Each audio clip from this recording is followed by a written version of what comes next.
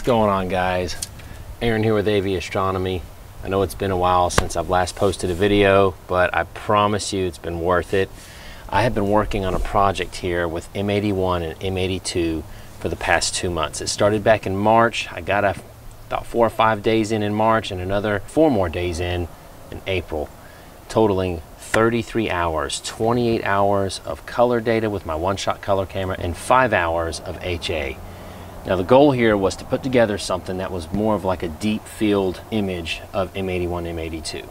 So some of you may not be aware that there's actually a great deal of what's called integrated flux nebula that surrounds M81 and M82, as well as some other areas in that region. The tricky part is capturing it on camera.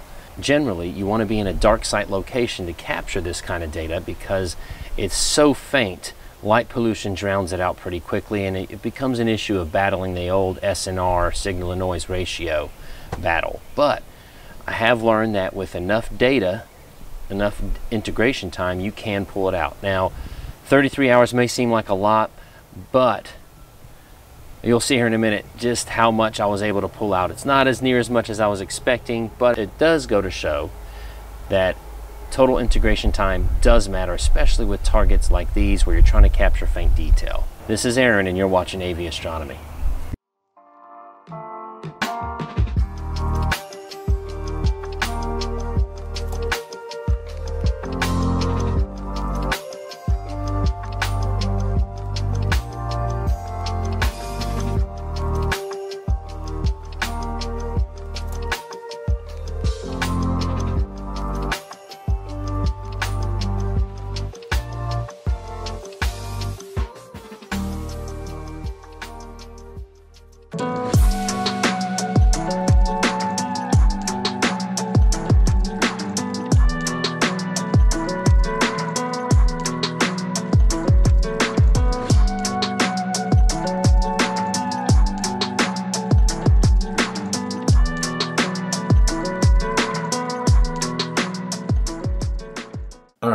Let's go over exactly what I did to process this image. If you've seen some of my other earlier videos, this procedure is going to look pretty familiar to you, especially the one with M42 Orion and blending two images together. Well, but we'll get into that later. Let's get started. All right, so we have our stack here of 28 hours worth of color data. And business as usual, I'm going to duplicate the layer, pressing Control J, and go ahead and start doing some initial stretches on this image. So I press Control M. Let's do a 30. Okay. And you know me, I like to flatten out after I've done an adjustment. If I like what I've seen, if I don't, I leave it unflattened. You can already start to see some stacking artifacts. Let's go into levels. Bring that slider over just a tad. All right, let's do another stretch. Control M.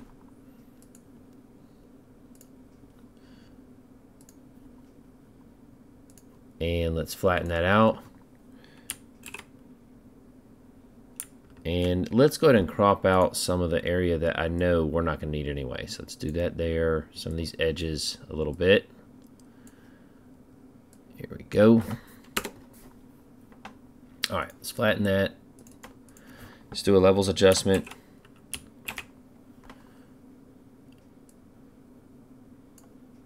Okay, now you can already see the gradient. I find the tools in Photoshop like Gradient Xterminator and sometimes manual adjustment with gradients does the trick. So here we go.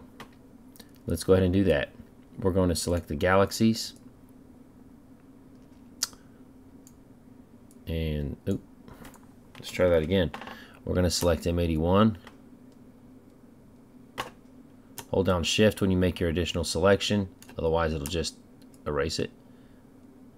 There we go. We're going to select inverse and then go to filter, RC Astro, Gradient Xterminator.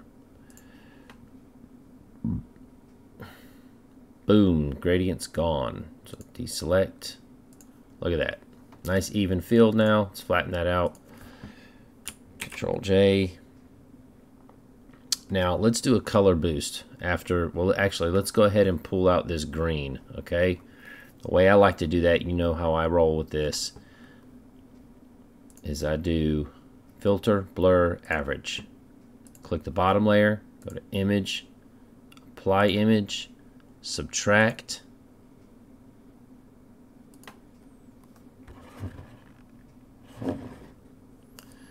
and I have the offset set to 25 and look boom it's gone. Now there's a little bit of a red shift it looks like maybe. So we're going to check the channels here. Go to control L for levels. Let's check each channel make sure they're aligned. So let's align them each manually. Red right there green right there just about and blue right about there. There we go. Okay. So we've done our levels adjustment. Let's flatten it out. and before we do another stretch, let's try and there's some star color here we want to preserve. So let's select color range. We're going to go to highlights. And let's adjust this mask. We want most of the stars and some of the galaxy too. There we go. Let's do that. Create a mask. Let's take a look at that mask. Looks good to me. Okay. Now control U for color adjustment and just slide up that slider until you see a nice little boost in color. You don't want to go crazy, otherwise you get something like that. But you do want a solid boost because this stretching of the data pulls away from the color. So we need to fix that. Let's go with let's go with 70. I think 70 is a good number. There we go. All right. Change that to a color layer and go down to the background layer, control M. I get a lot of people asking me why I do this. I've been doing this for so long this way because it's how I was taught. I, I couldn't tell exactly why I do this, but it's just part of the procedure, so I do it. And it seems to work good. All right, let's flatten that out. Control J, and let's do another stretch. Control M. Arcsine 10 this time. There we go. Look at that detail just pop, just like that. All right, let's flatten that out. And let's take a look. Duplicate layer levels, see where we're at. Is there any more room for stretching? And if the channels are aligned. Looks pretty good so far. Looks pretty good. All right. Now, I still feel like there's a little more stretching that can be done. So before we move on to putting the HA into this picture, let's go ahead and do that. Let's first let's see if we can bring out any more detail using camera raw filter. This is another mode I like to use in Photoshop. Okay. I don't mess with a lot of these sliders too much because I, I just think they're too strong. Like contrast even, I just don't like what it does very much. We can just a little bit perhaps, but you lose some of that faint detail there. You see that? But you can play around with these sliders to your liking, but clarity is a big one. I like clarity. It does seem to punch out the hidden detail in nebulas and in faint uh, detail around galaxies very nicely. Look at this. See that? Definitely a vibrance boost and just a little bit of a saturation boost. Not too much, just a little. We're starting to see that color being restored in the stars. Okay, let's flatten that out. I like that. I like what we're seeing so far. Let's look at there we go. I just went to levels. I think we can do one more stretch, guys. One more stretch. Let's see. Let's see what happens. A 10 might be too much still, but now you can really start to see the stacking artifacts after I stretch it this far. Uh, this is where calibration frames may help. I'm not sure though because this was done over like 9 or 10 different nights. The camera was not always in the exact same angle every time. at throwing the meridian flips, it's I don't think you can calibrate this out. If you guys know a way to do that, please let me know in the comment section. But this stuff here, I don't think that you can calibrate that out. From what I understand, when you're using like darks and flats and whatnot, they have to be, it needs to be in the same position. The camera oriented, oriented in the telescope in the same position. So, anywho, we're going to work with this and we're just going to crop that out. Let's see what happens here. That seems like maybe a little bit of an overstretch, but we can lower the opacity of that stretch a bit. Maybe drop it to about 90%. Let's do that, and then let's just crop out the rest of the junk, the stacking artifacts and uneven field illumination and stuff from... I don't want to crop that out though. There we go. Okay, flatten. Let's see if we can use Gradient Xterminator one more time to even this field out a little bit. So same thing as before. Select that and hold down shift while making your additional selections. Select inverse. And I do have this feathered at 20 pixels, so keep that in mind. RC Astro, gradient, and medium medium. That pretty much is my go-to settings on this. There's been a couple times I've changed that, but medium medium seems to work really well. Fingers crossed, it actually did a really good job. Sweet. Okay, so that's helped even that out a good bit more. Let's flatten that out. Control J, and let's look at levels one more time. Let's just creep this over just a tad. It looks... Uh, there. There we go. And guys, that's about all I did for the color data right there. Um, let's zoom in. You can see that the data is very clean. I mean, I didn't even have to apply any noise reduction on this at all. And a lot of that has to do with the fact that I've stacked over 400 frames, so wasn't really necessary. Our next step is going to be stretching the um, is stretching the HA data, which really brought out the HA in these galaxies. And then I'll show you how I mask that in. And pretty much same process as before, so we'll go ahead and speed through this section. When I get done stretching this one, I'll slow it back down so I can show you guys how I mask this layer back in with the color layer.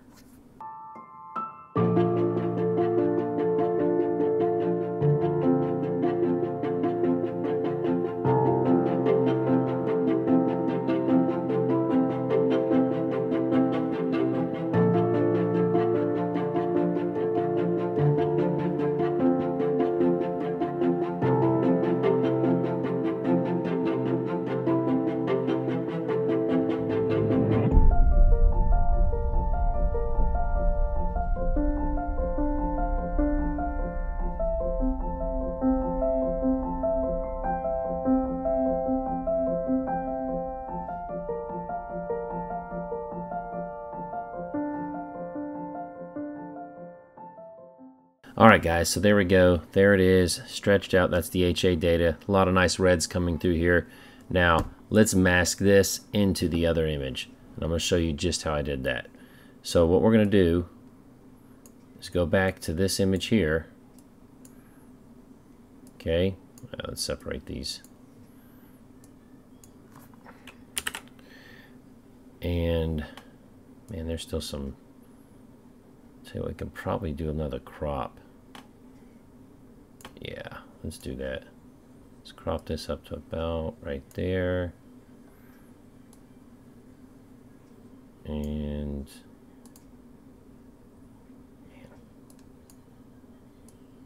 about right there. There. Let's see if that helps. Okay. What we want to do is paste this one on top of this one here. Okay. But before we do that, Oop, I didn't finish that part. Let's flatten this out. Oh, what did I just do?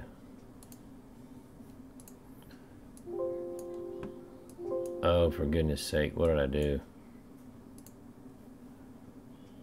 Okay, there we go. That was weird. okay. Did I flatten that? Alright. I did. Okay, let's go to this image here. Okay. And press Control A, Control C. Click on this image here. Make sure on this layer right here and press Control B. Paste it right on top. So now what you're going to do, oops, let's check the alignment of that paste. See how it did. So if you draw back the opacity, oh, my audio still recording. Yeah. If you move the opacity slider over, you can see where you need to make adjustment. Okay, and it's definitely off. So let's adjust that layer. Control T to free transform. Zoom in a bit. Let's see, it needs to come down and over and it looks like we got to spin it a little bit. Yep.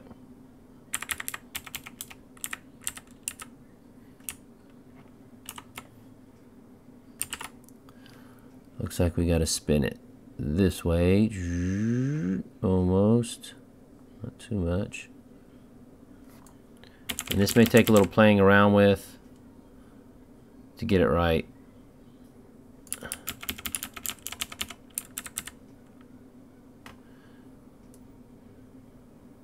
smaller, make it little, let's see here. Spin it this way some.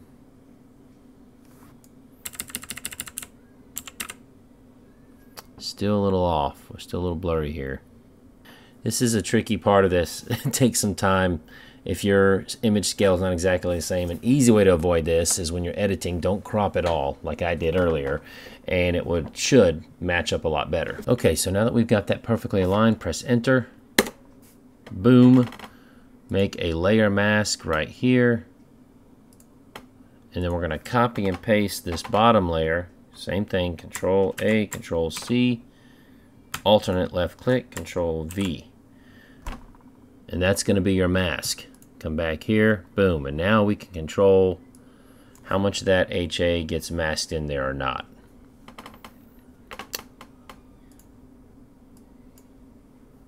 All right, I have the opacity slider all the way up, and look at the red punching through there. It's looking good. Here's what I'm going to do, though. I'm going to pull up Control M, and if you drag this ladder down, it will even put in more of that HA. You can get a little crazy with it, but let's let's do this right about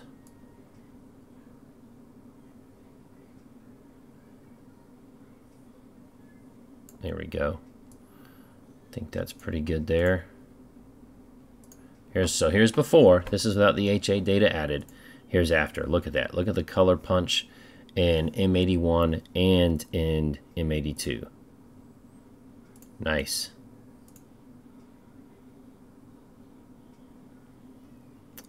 Now, to avoid any messing the stars up, let's go back to this mask here and let's actually black out everything that isn't the galaxies because that's really all we're looking to add data to is the galaxy. So let's black that out.